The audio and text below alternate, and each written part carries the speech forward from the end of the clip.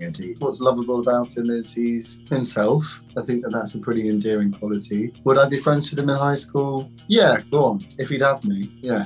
The guitar sequence in episode nine was really fun. I remember it being kind of pretty daunting when I read the script and kind of thought that uh, how have they come up with this? This better be good, otherwise it's going to you know fall pretty flat. So I went, I went and bought a guitar and started practicing as much as I could. And on the day of, I remember there was just a real ex- sense of excitement on set and everyone because it was the first time that like, people had kind of been in a kind of live music, live music environment since the pandemic. So everyone was kind of it felt a bit like a concert.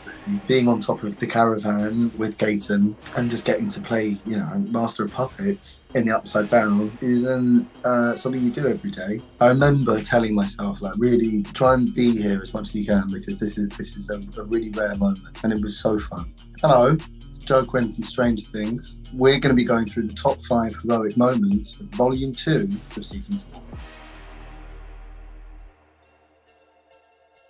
The first heroic moment from Volume 2 is Dustin going back to save Eddie he, when he goes back into the Upside Down. It's got to be. He knows that all of those bats are up there and he's still going there because he's he loves his friend and that's pretty heroic in my book working with Gaten was a treat. He's a great guy and wonderful to hang out with and very funny and doesn't take himself seriously. He's always cracking jokes and yeah, like it, it, I didn't really find it hard to kind of I didn't have to crowbar any chemistry in there. I can't speak for him. He might have had to work pretty hard, but he's a very affable man, you know the special thing about that moment where Eddie grabs Dustin and tells him never change, it just feels quite funny because it's obviously like I'm talking about my work here.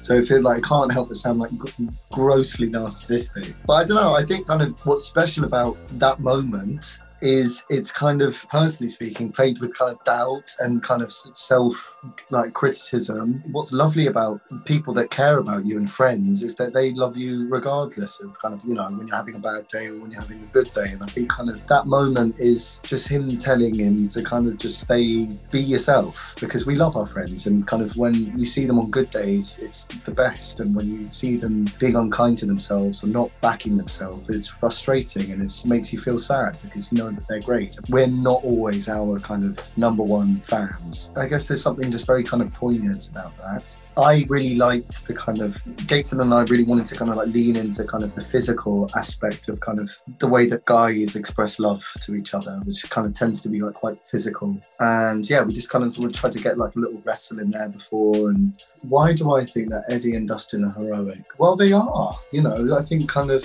to volunteer yourself to try and get however many hundreds of demo bats to come and fly at you. That you know, it doesn't get more heroic than that.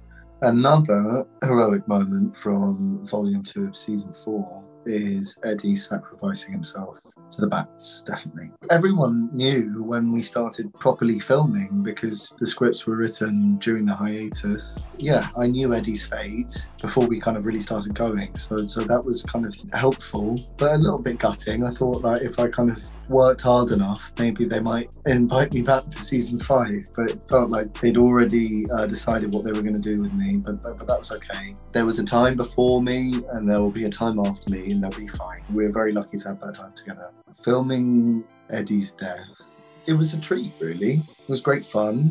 It was a bit weird logistically.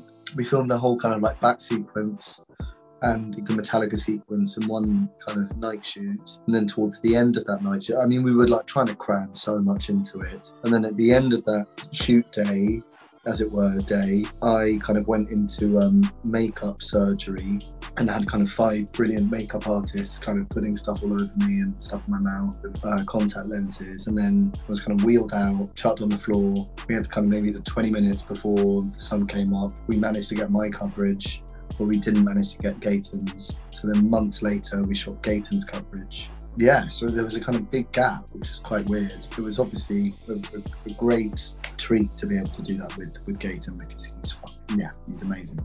Am I satisfied as an actor with the way that uh, Eddie's been received? Yes, yeah, I am really. Um, well, satisfied is a dangerous word. I'm, I'm relieved people seem to have responded well to him and liked him, which is great. But yeah, I think it, it you know, it's been a long time. It was a long shoot, so I think kind of I'm very relieved that kind of people have been so kind of welcoming.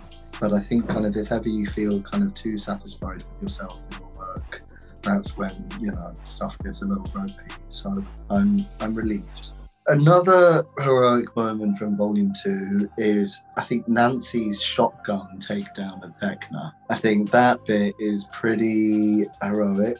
I remember seeing some footage of Nat doing that kind of earlier on in the shoes and just thinking that's gonna look because she just looks she's just, just just working that thing like I don't know like Keanu Reeves or something it's amazing joining a, cast like this where they have become galvanized through this kind of this crazy experience that they went through. Like they had no idea how successful the show would be when they joined it. Um, so i think that they feel very kind of close that i kind of initially thought that they might be a little um, cliquey maybe but they weren't at all. They were very welcoming and, and kind and reassuring. So, so that was that was great another heroic moment from season four, volume two, is just Eleven generally. She's just one heroic moment after another. She spoils us with her heroic moments. I think the heroic moment that jumps to mind is when she finds it the strength within herself to fight Vecna through the beautiful words of Mike, played by Finn Wolfhard, that moment gutted me. Yeah, it devastated me. I was a wreck. That moment where Vecna is about to have at Max and then get sent sideways is a pretty heroic moment. She has so many questions about herself and kind of and is uncertain about so many aspects of herself, but is gifted with this extraordinary power we find that captivating as an audience. I just think that Millie's performance is just breathtaking as well. I think it's impossible to not, to not be captivated by that. The last heroic moment of Volume 2 is when Max uh, volunteers herself to bait Vecna. I don't want to go in the Creel house. I really wouldn't want to go in there. But she goes in there willingly with nothing but a lamp and two friends, one of which is an infant. So I think that takes a lot of bravery. We need people of all different genders, races, being heroes. And that's just that's just just what, what, how it should be. I guess the fact that we're still commenting on it means that there's still a long way to go. But i think it's just it's just brilliant. I mean they're just they're fantastic actors and they deliver. I think sadie is obviously has had a lot of heavy lifting this season and is getting the, the response that she deserves. Millie is clearly a kind of divinely gifted actor. I think a lot of the show's success is based on not exclusively her performance at all, but I think she kind of elevates, she brings something that is otherworldly to this performance. And I think kind of for young women to see